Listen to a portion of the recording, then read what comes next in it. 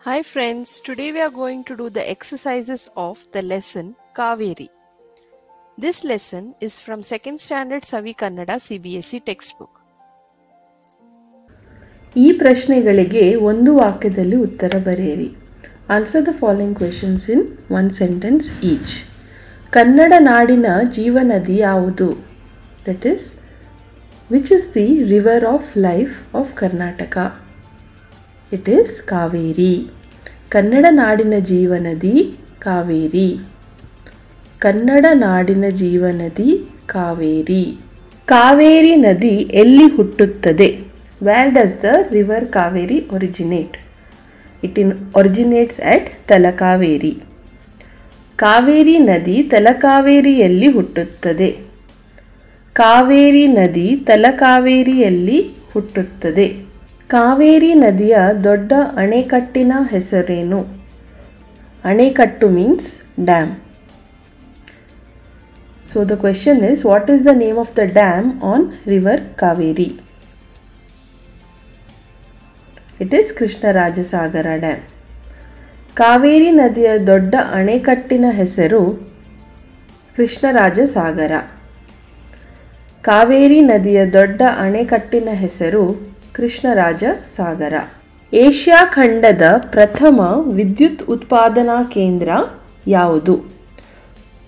Asia ಖಂಡ means Asia, Asian continent. ಪ್ರಥಮ means first. ವಿದ್ಯುತ್ ಉತ್ಪಾದನಾ ಕೇಂದ್ರ means power generating station.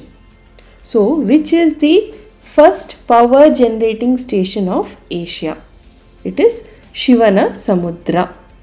ಶಿವನ ಸಮುದ್ರ ಏಷ್ಯಾ ಖಂಡದ ಪ್ರಥಮ ವಿದ್ಯುತ್ ಉತ್ಪಾದನಾ ಕೇಂದ್ರ. ಶಿವನ ಸಮುದ್ರ ಏಷ್ಯಾ ಖಂಡದ ಪ್ರಥಮ ವಿದ್ಯುತ್ ಉತ್ಪಾದನಾ ಕೇಂದ್ರ. ಕಾವೇರಿ ನದಿ ಹರಿದು ಕೊನೆಗೆ ಎಲ್ಲಿಗೆ ಸೇರುತ್ತದೆ? So the river Kaveri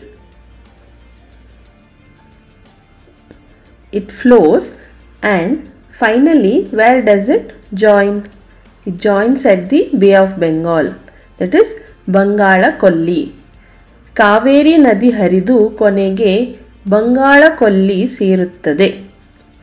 Kaveri ನದಿ ಹರಿದು ಕೊನೆಗೆ ಬಂಗಾಳ ಕೊಲ್ಲಿ ಸೇರುತ್ತದೆ. ಅ ಪಟ್ಟಿಯಲ್ಲಿರುವ ಪದಗಳಿಗೆ ಸರಿಯಾದ ಪದವನ್ನು ಆ ಪಟ್ಟಿಯಿಂದ ಹೊಂದಿಸಿ ಬರೆಯಿರಿ. So this is match the following Srirangapatna. Srirangapatna is a sightseeing place so ಪ್ರೇಕ್ಷಣೀಯ ಸ್ಥಳ. So the correct word here is ಪ್ರೇಕ್ಷಣೀಯ ಸ್ಥಳ.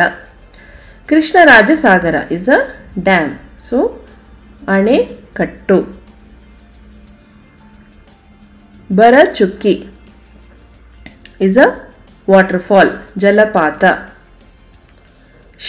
Shivanasamudra is a power generating station ವಿದ್ಯುತ್ ಉತ್ಪಾದನಾ ಕೇಂದ್ರ Please like, subscribe, and don't forget to press the bell icon.